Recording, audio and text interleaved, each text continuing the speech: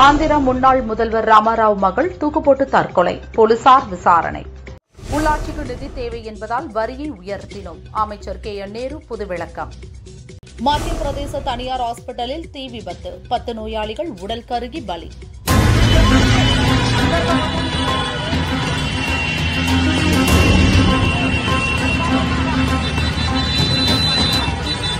ஆறாவது முறையாக ஒன்று புள்ளி நான்கு லட்சம் கோடியை தாண்டியது ஜிஎஸ்டி வசூல். மத்திய நிதி அமைச்சகம் தகவல்.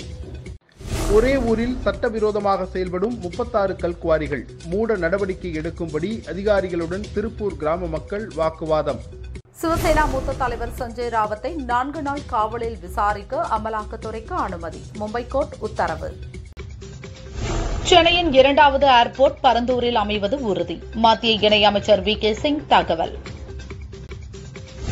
உயர் ரத்த அழுத்தம் காரணமாக செஸ் ஒலிம்பியாடில் மயங்கி விழுந்த நடுவர். மருத்துவமனையில் அட்மிட் புதுச்சேரி கவர்னர் தமிழிசை பெயரில் போலி மெசேஜ் புதுச்சேரி அமைச்சர் லட்சுமி நாராயணன் அலர்ட் போலீஸ் விசாரணை. ஆந்திராவில் ஆட்டோ டிரைவருடன் ஆற்றில் மூழ்கிய ஆட்டோ பாலத்தை கடக்கும்போது பரிதாபம்.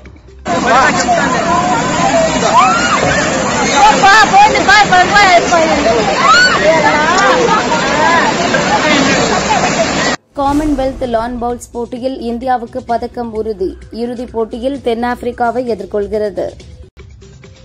பாஜக ஆட்சிக்கு முற்றுப்புள்ளி வைக்கும் காலம் விரைவில் வரும். முன்னாள் முதல்வர் நாராயணசாமி பேட்டி. புதுச்சேரியில் மேலும் முப்பத்தி எட்டு பேருக்கு கோவிட் பாதிப்பு உறுதியானது. தொற்றுக்கு ஒருவர் பலி.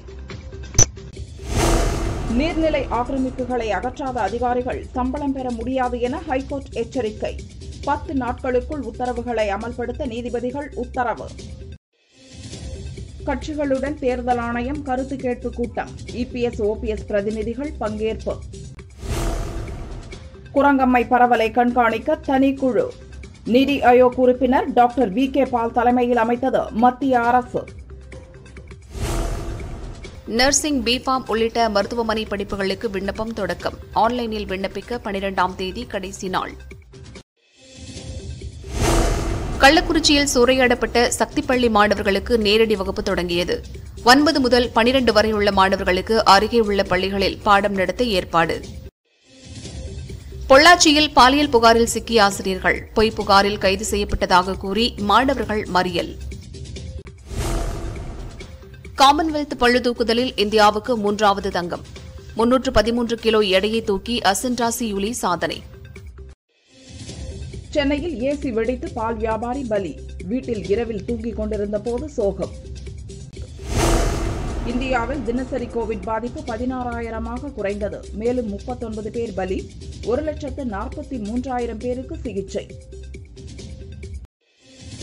சென்னையில் ஆழ்கடலில் செஸ் விளையாட்டு செஸ் ஒலிம்பியாடு வீரர்களுக்கு வரவேற்பு. சொத்து மீதான வழக்குகளை ஆன்லைனில் அறியும் வசதி. விரைவில் பயன்பாட்டுக்கு கொண்டு வருகிறது வருவாய்த்துறை. ஸ்ரீவில்லிபுத்தூர் ஆண்டாள் கோயில் ஆடிப்பூர தேரோட்டம். கோவிந்தா கோபாலா பக்தி முழக்கத்துடன் பக்தர்கள் தரிசனம். கோவையில் கஞ்சா சாக்லேட் விற்பனை. பள்ளி மாணவர்களை குறிவைக்கும் கும்பலுக்கு வலை.